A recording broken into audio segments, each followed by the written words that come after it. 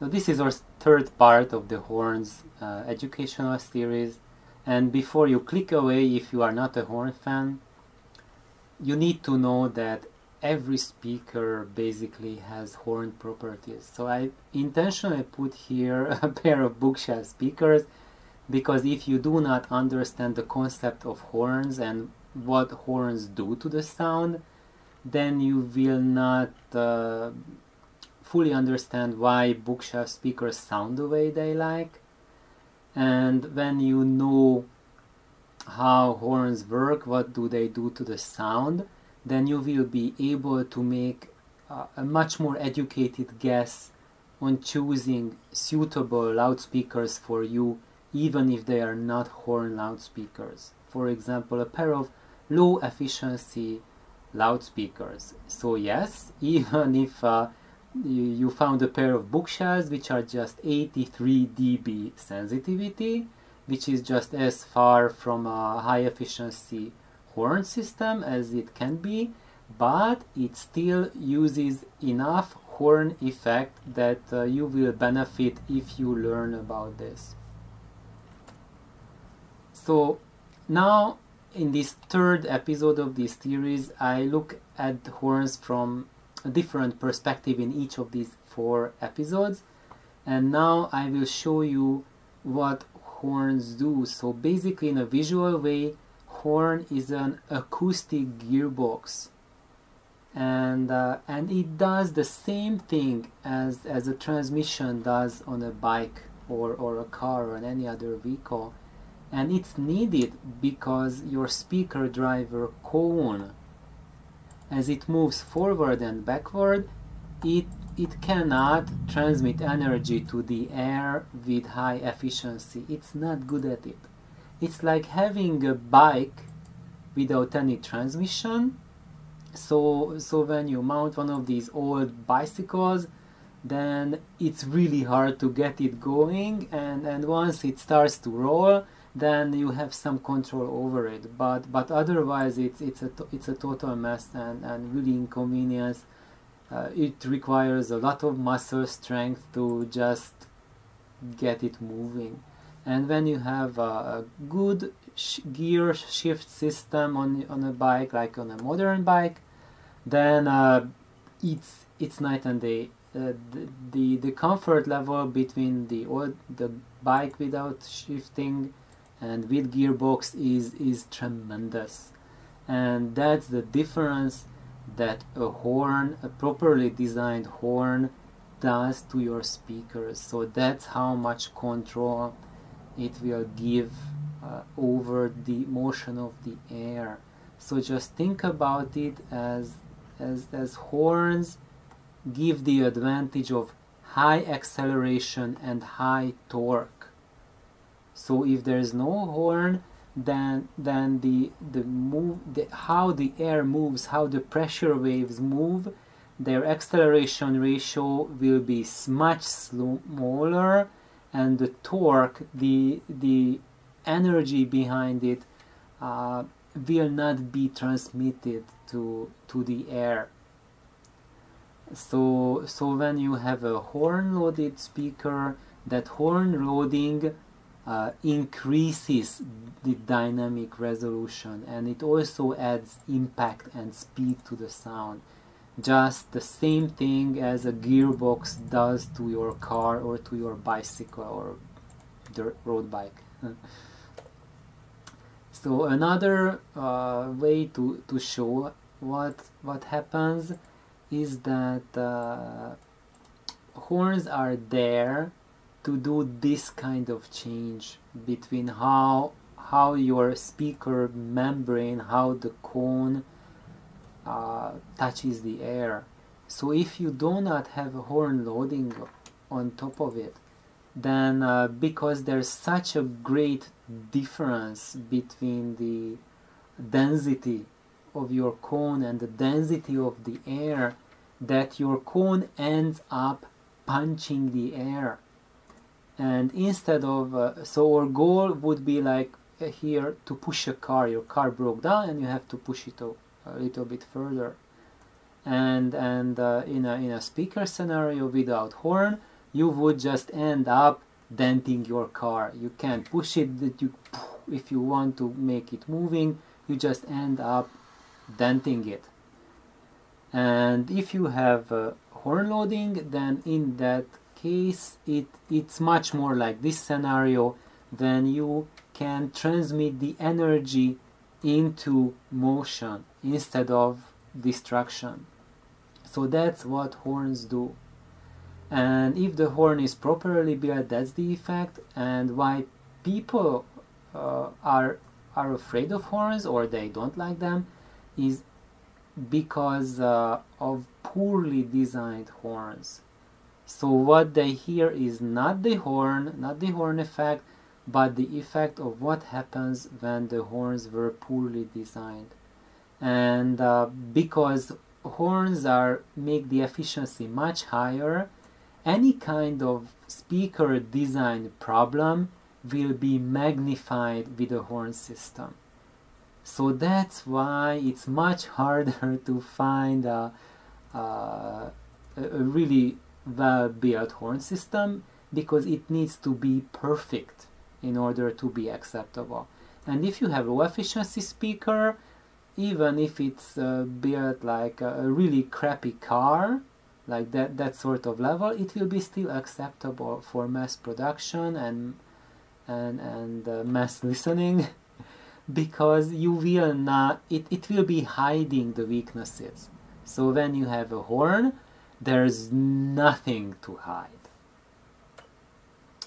And people's comments because of that when when they hear these unbalanced horn systems is they accuse uh, horns of being unnatural sounding.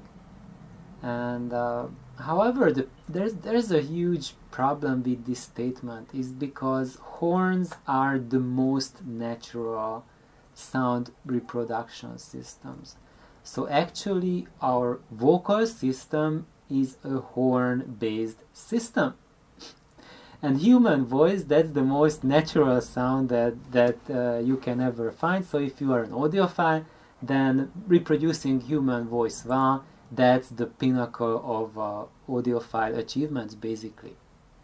And uh, and when we look at, at our system how we produce sound then that's entirely analogous to a horn based uh, loudspeaker. And it's because uh, these horn-based loudspeakers when they are fully developed then they have a motor and then a compression chamber. In our case the motor are your chest muscles and your diaphragm. That that's that's uh, what uh, produces the motion of the air for speech the compression chamber are your lungs. So these are our, we have a double compression chamber. And then for a throat we have a real throat. That's why the loudspeaker for uh, the throat of a horn is called a throat because the analogy was taken from uh, human anatomy. And the neck we have a neck yeah? So that's also another term taken from human anatomy. And then the the horn mouth human mouth so basically the the horn system was mimicked from human anatomy. That's the most natural system ever. Uh, and when you design loudspeakers, the closer their structure, their anatomy, their composition mimics that instrument or that sound source that you want to reproduce, the better result you will have. So if you want to reproduce a horn-based system, such as the human singing, with a non-horn system, you will fail at it. It's kind of like trying to make a brick house out of sand or out of water. You, you're gonna build a brick house out of brick to look like a brick house, correct? Um, so anyway, let, let's go to our next slide.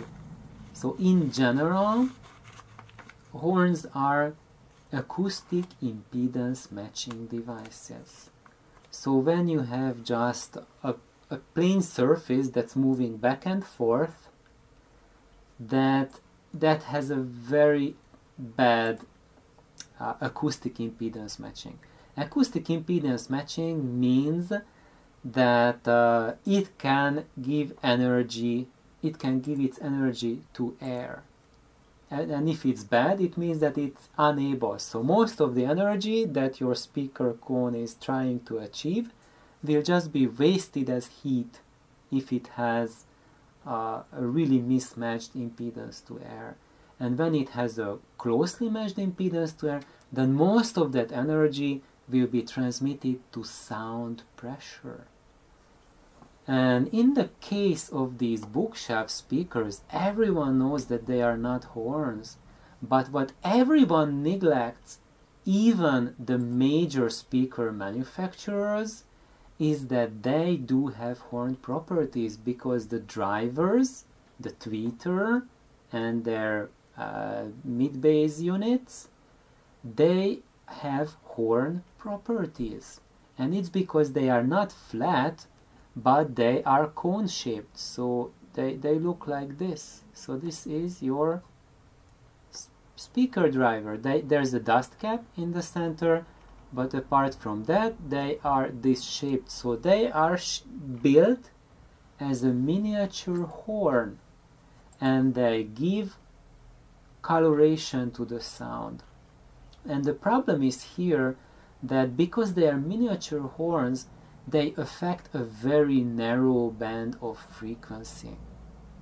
And also because they are really shallow, uh, the efficiency is uh, not uh, very high, it's pretty low, but still significant enough to add serious horn coloration to every loudspeaker. So right now we'll have take a look at that a few slides later. So here this is now a, a perfect horn. Uh, if you want to go back to our previous presentation you can learn more about the horn shapes and horn geometries. Here I'm showing this because the mouth of the horn is what defines the fall off of your horn. So basically it means that there, there's, there are sounds coming out produced by your uh, horn and if the frequency of those sound waves if the half wave is equal or smaller than the size of your horn then your horn will have uh, a lot of power behind it. Then it will be able to support the energy. But if the half wave is longer than the diameter of your horn, let's say you want to create a, this big sound wave, so this is the half wave or, or the full wave would be going off the screen, for that, you see here this region and that region is already not supported by the horn. So that's why the efficiency of the horns is limited uh, at, at the lower range. And it's also limited at the higher, at the high frequencies by, by the diameter of the mouth. So now let's look at a pair of uh, good horns, which are efficient. And here, when you think about our uh, human torso or, or chest, would be equivalent to the compression chamber and the motor, which is here. So, so what you see from the outside, the most of it would be the motor on, on the side. And at the center, there's a, a hole, a shaft, and that shaft that's the compression chamber. And what we don't see here because this part here that's covering it you can remove uh, this uh, cover from the compression drivers. And underneath right here there's something it's called a diaphragm. That's the membrane that, that resonates that moves back and forth that creates uh, a pressure change here within the compression chamber. And that pressure change will travel out here and expand. So it, it will pressure will be going out here. And and as it, it travels and expands so as as uh, so this narrow region that makes sure that the high frequencies are amplified and as the size becomes bigger and bigger like here it becomes bigger and bigger this makes sure that lower and lower frequencies are amplified as well. So here uh, the th because of this throat diameter here we have let's say an upper uh, extension of 17 kilohertz. That's uh, about the range if you have uh, roughly like a, a, 30 millimeter diameter uh, throat. And then the mouth if you have about let's say around uh, 40 50 centimeter that's that's enough to support fully support a 500 hertz wave. Technically uh, whatever the half wave frequency that corresponds to the uh, length of your horn. That's the lowest frequency that can be supported by the horn. So if you have for example an Altec 550 511 horn which works down to 500 hertz actually it goes lower than that but they oversized it to make sure that down to 500 hertz it works extremely well because horns they they do not just stop at a certain frequency but they start to fall off below a certain frequency.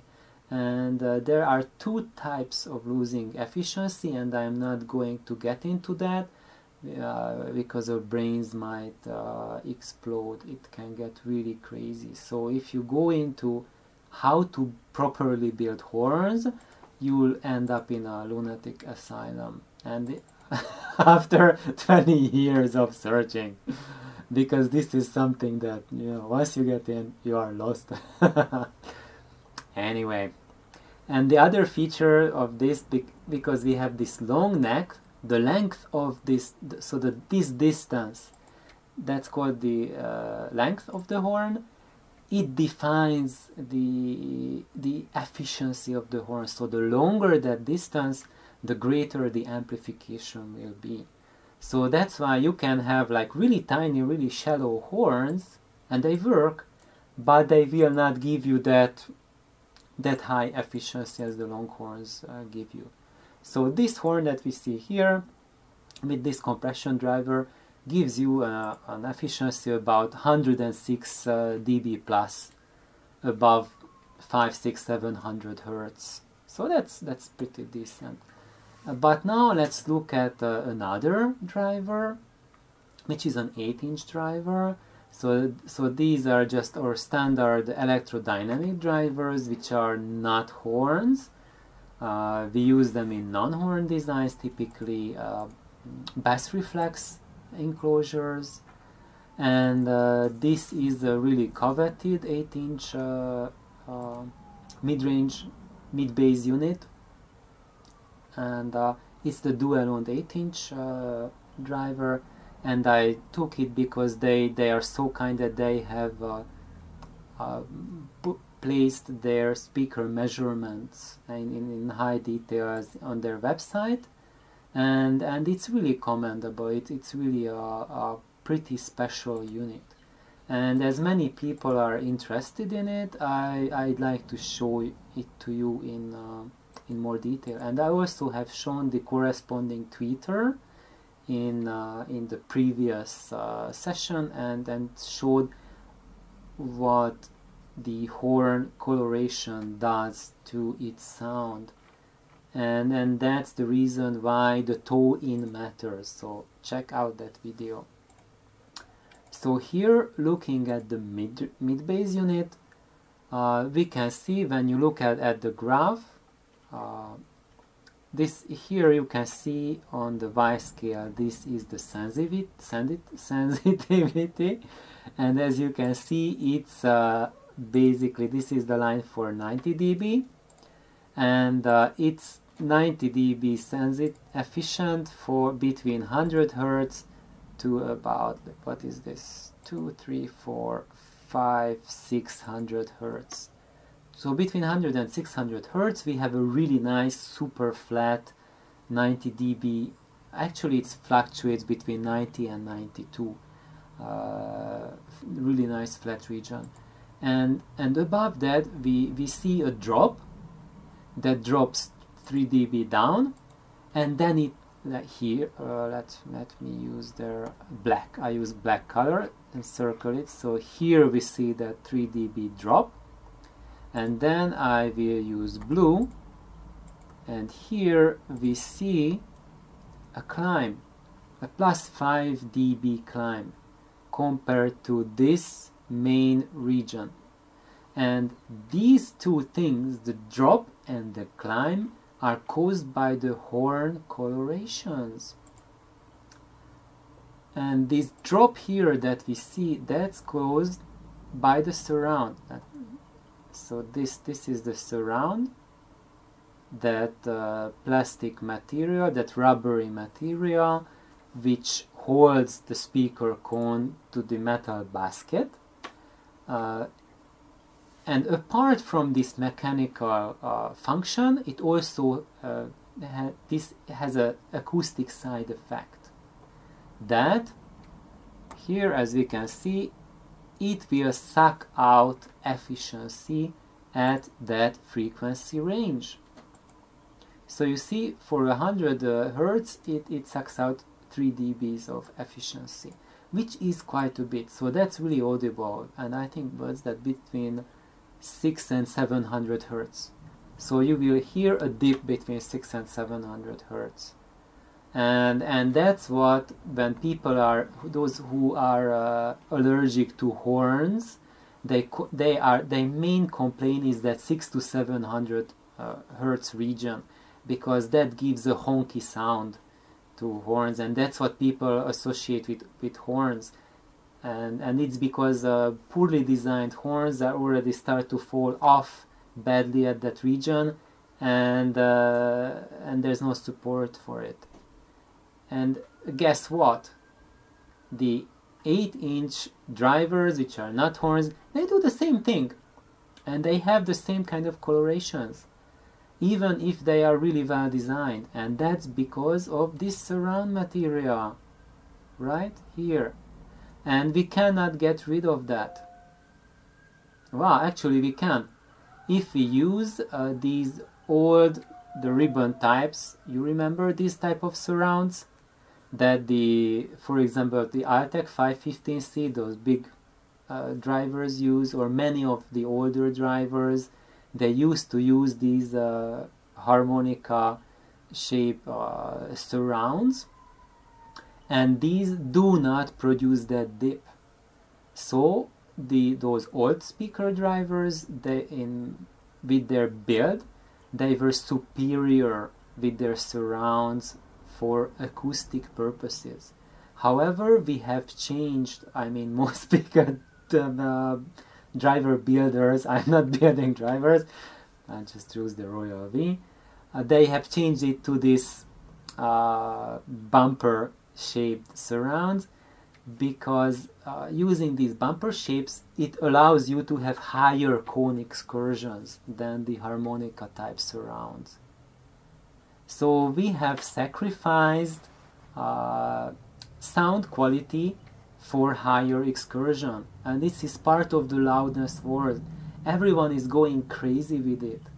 And, and, and we do not realize, I mean, we consumers and often the builders and speaker designers, that there's too much friendly fire, that we are turning a blind eye towards because of that uh, war just to have as much speaker sound pressure as possible. And when we look here once we go through this region uh, to have that uh, dip because of the surround there's the speaker cone itself because it's a v-shaped cone. It creates this 5 dB boost between a kilohertz and 4 kilohertz. So as you see, there's tremendous horn coloration for a normal speaker driver, which is which in people's minds is as far away from a horn as it can be. And yet, there's a minus 3 dB and plus 5 dB. So we have uh, 8 9 dBs of horn coloration right in the middle of our ear sensitivity because our brain is made in such a way that the frequencies between 1 kilohertz and 3 kilohertz that's what we are most sensitive to. And we are introducing horn colorations right in that region. So if you don't like horns please think about it because this is your favorite and it does have tremendous colorations however we can uh, eventually work around with it uh, by adjusting the crossover but it needs to be done. And uh, so so the driver itself is is your raw material. And you need to be aware of it when you design your crossover that above 1 kilohertz it's not going to stay flat but it rises 5 dB because of the horn effect and it doesn't rise because of uh, electrical parameters it rises because it couples to the air in that region the best. And it also means that that's the best working range of your driver. So if you want to cross it over, you are throwing away the best feature of your driver.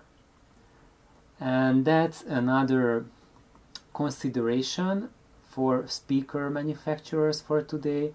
Just think about it that if you, you are using uh, drivers, then work around their strength and try to make uh, just get the most out of them and don't just mindlessly uh,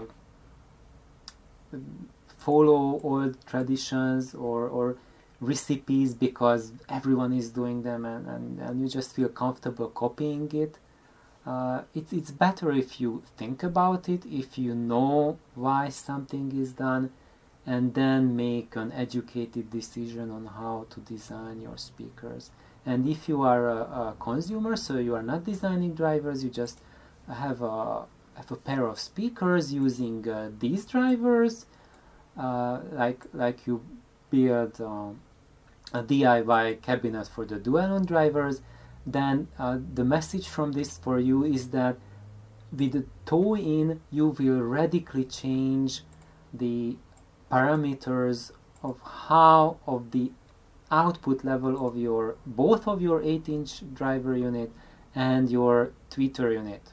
And for that go back to the previous episode.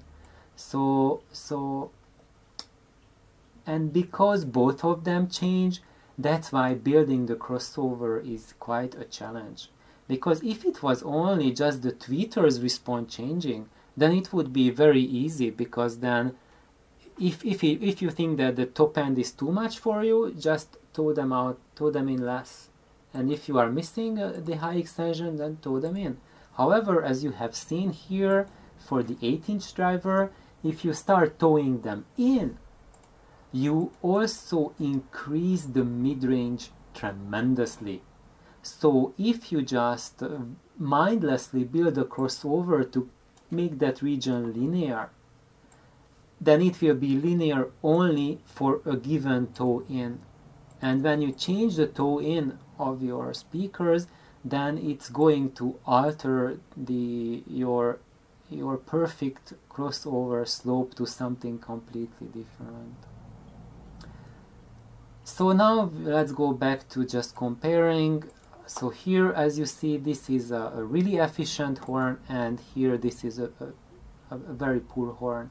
And the only difference between the two is that the one which was designed in mind to be a horn, so all the frequencies that come out from this unit are intended uh, to be loaded by the horn. So it has the same efficiency for the entire working range but if you have just a, a smaller unit without a proper horn loading this is just a partial horn loading by the cone then in this case only a very narrow region uh, of, of frequency is affected by it. And you have to find means to compensate for that. And uh, of course now we live in 2020 the response for that DSP but what people often overlook is that uh, DSP is signal processing. And just like processed processing meat if you processed meat is processed meat. Baloney is baloney by by processing the waste waste product of, of slaughterhouses you will never ever reconstitute a fine steak. Just take take your steak and and do it well prepare it well to your taste. If you like it raw or rare or medium or well done do it that way. They are completely different tastes. So based uh, that's why if you want horns you really have to pay a big attention on how they are made and you have to get into uh, learning more about audio to to be educated enough to customize the horns to your taste or find those horns which suit your personality. And if you just want to process the signal out of uh, your signal to to fit uh, a compromise scenario you will never um, find a whole a pure response it will always feel processed and uh, when you go online and look for uh, programs and interviews and master classes with those people who are the leaders of DSP design for audio. They themselves tell that they never heard a properly implemented DSP. Even though they are the ones who are making the best DSP today, they tell you that we it, it has potential and they are working on it because they see potential in it but we are very far from uh, from making it work seamlessly. So if you can do it and you have the opportunity to take the sound in its pure way to have put together a system that that doesn't make big compromises then go that way choosing that way where you first make gigantic compromises and then you try to process it to put it back together, it will be Humpty Dumpty. So thank you for uh, joining and uh, being here and please like and subscribe and see you next time.